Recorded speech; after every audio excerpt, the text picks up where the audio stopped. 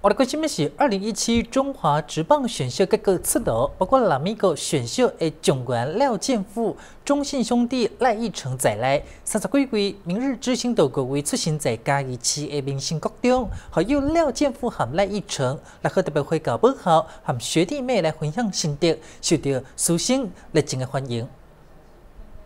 二零一七年中华职棒选秀结果出炉，江义市的明星高中培养出五位的中华职棒明日之星，其中选秀状元廖建富和中信兄弟球员赖义成特别登来到母校，勉励学弟勇敢对棒。校长陈明君带领棒球队的队员伫咧校门口欢迎，曾经指导过因的教练团，也希望因继续努力来争取到 MVP。都一直很努力啦，哦，像廖建富。人家打一次，他已经要打两次、三次以上，哦，他自己都非常的苦练。那赖一成，哦，这个选手都有亏蔡教练一路的信任他，投手教练，所以感谢，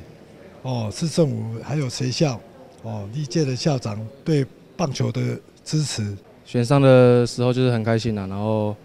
就是很谢谢蓝米狗球团有给这个机会，就是对我的青睐，然后。我也会好好加油，就是回馈这样子，然后也谢谢国中的教练们啊、老师还有家人这样，就是一路的栽培我，就很感谢他们这样，谢谢。说实在，一路上哈，他从国小到这个阶段哈，真的这个过程也是蛮辛苦的，而且他真的哈，自己想要的目标哈，都会是设设定好去自己去。打拼哈啊，自己也肯肯学的。我也是谢谢同一师对我的肯定，然后也谢谢那个我们嘉义高中的教练蔡教练，他愿意让我到嘉义嘉义高中就读，然后再陪我。他这次能够让统一统一队选上。